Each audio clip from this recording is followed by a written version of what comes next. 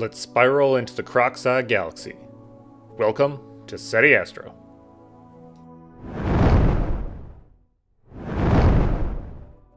So after finishing up the Eye of Sauron galaxy, I thought M94 would be great. It's another it's another eyeball galaxy. It's the Croc's Eye galaxy. And I got uh, 290 two minute exposures for luminance, so a little over nine hours. So nine hours and 40 minutes of luminance. I also got a little over 10 hours for RG and B.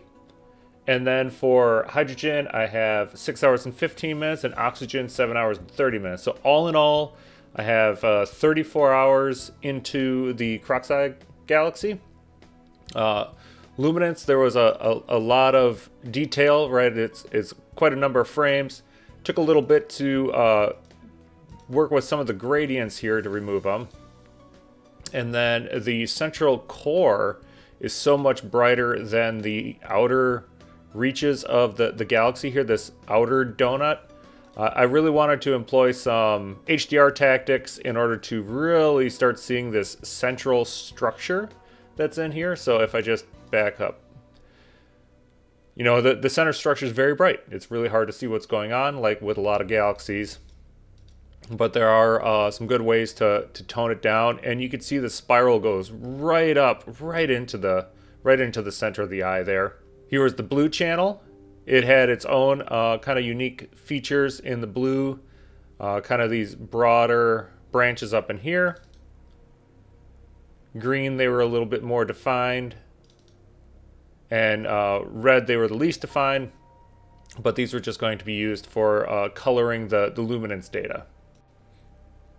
So combining the RGB, I did have a, a bit of a splotchy background there and, and had to uh, get rid of that.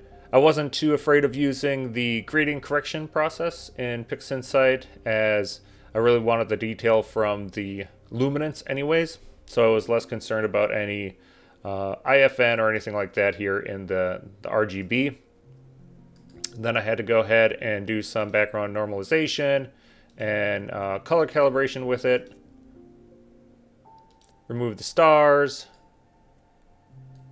And I did my initial nonlinear stretch here. And you can see the, the outer ring very faint and then, then the core in there. There really isn't a whole lot of color in this particular uh, galaxy. And I, I, did my best to try to uh, selectively bring up the, the color up to this point here. And it's at this point that I brought in the, the luminance. So you could see the before and then with the luminance, we had all that HDR down into the core so we can see what's going on. It was a matter of uh, kind of getting the RGB kind of processed where I want it, but I needed to add the hydrogen and oxygen data still, so didn't want to go too crazy with the colors yet. Like I said, for hydrogen I had over six hours, and then for oxygen I had over seven. And looking down into the hydrogen, it's really cool. You can kind of see the, the, the ring structure here around the, the center and some other pockets. And then for oxygen, you really don't see it, but the, the whole center part is is quite a bit brighter than, than the outer bits. So we had to do continuum subtraction. And doing that on the hydrogen really revealed the structure here in the core and you can you can see even the the center bit has hydrogen structure in it and then all these knots around that that center portion of the galaxy. And then for oxygen the center core itself has a kind of a really big bright patch of it uh, and then opposite that is a really dark patch. So it's almost like a big blob of this ionized gas kind of swirling right around the center here and then also kind of just general pockets of oxygen throughout I ended up settling on this uh, Foraxx palette for the hydrogen oxygen to, to merge back in with the actual galaxy data. And there's plenty of these hydrogen pockets around here. And then the, the oxygen blob moving across really counteracts, you know, the, the hydrogen blob to it. It really has some, some cool detail down in there from the, the two interacting gases. Back onto the RGB image now. Now we screen in that continuum subtracted data. And now you can see the, the color that that added and, and whereabouts that was. And then, you know, it, it was a matter of cleaning up some of those star artifacts. I redid some luminance from the, well, from the luminance into the center core structure again. It was kind of uh, washed out from the continuum subtracted data being screened in. So that added a lot of that, uh, a lot of the features back into it. And then just a matter of finishing cleanup and uh, trying to tweak the colors and some of the contrasts. Uh, got me to right about here with the RGB starless image. Now I had a few different sets of stars, right? I had the stars from the luminance image, I had RG and B stars, I had narrowband stars. So what I did is I took the RG and B stars and just did a channel combination and um, my SETI Astro star stretch for those. And I also did the star stretch on the luminance stars. And then I just did a combination where I took the, the luminance from the from the luminance stars and added it to the RGB stars. I really wanted to make sure if it pulled out any like galaxies or anything in the luminance channel like this guy, it got added back into it. And then one last little step I did, I did a, a small morphological shrink reduction on, on the star. So this was before and that was after. I just wanted to do that to kind of tighten it up and make them less, less pronounced. Back on the starless image, I did do a little local histogram equalization and some dark structure enhancement as well. Um, and then and then boosted the, the chroma to just bring out whatever colors I could in there. I really like the dust lanes, really spiraling all the way down to the center.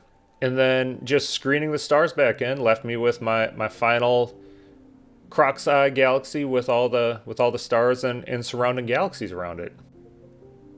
Now, there were a couple cool things to note. Um, the farthest quasar I could visibly see was actually this fairly bright one here, and that was sitting at a, a redshift of uh, 3.16, so really far, uh, 21.6 billion light years away. There's actually two visible white dwarfs. Here's one here, and and one right here. Uh, just you know, blue hot. White dwarfs are are very hot for being very very tiny. I did find it interesting, unlike Triangulum or Andromeda, where pretty much every little knot and hydrogen object and emission object is mapped out and has a catalog name for it.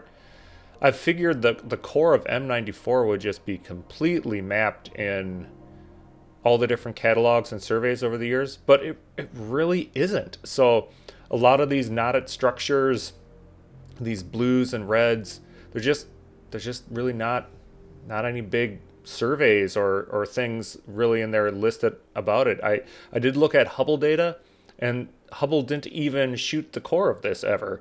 Uh, it kind of shot off to the side with some uh, galaxies actually through, looking through M94, but never really took detailed images here in, in the core structure, even though there's all these different uh, knots. The one thing that there was a good survey on were planetary nebula, but those are uh, much too small to to see in my image.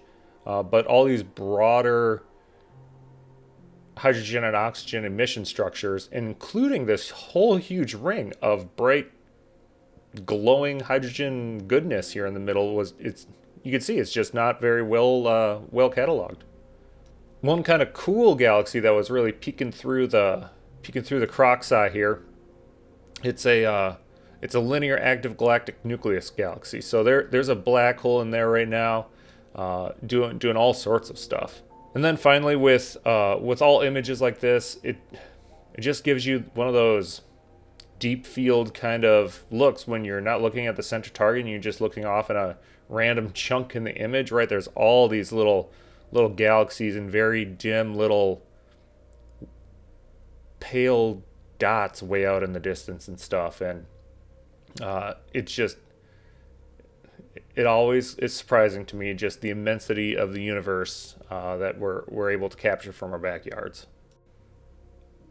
I've also updated Astrobin here with uh, swirling into M94 Croc's Eye Galaxy. Uh, you can mouse over for the starless image of it. I do have all my acquisition details here And then and then some write-ups showing the continuum subtracted core, uh, close in on the actual spiral structure all the way in it, these visible white dwarfs and uh, quasars, and just some some of those other images in there. I've also updated my website, SETIastro.com, with the uh, the Croc's Eye Galaxy. It does have the mouse over zoomable feature. A uh, quick write up, link back to Astrobin, and then some of these uh, close in crops. You could also click the image and get the full resolution to download if you want. Well, it definitely seems like it's one of the more overlooked Messier objects to image. But if you haven't done so yet, I think you'll be really really pleasantly surprised with like its dual kind of donut shaped structure and everything in there. Well, I hope everybody's having some clear skies. Please comment, like, and subscribe.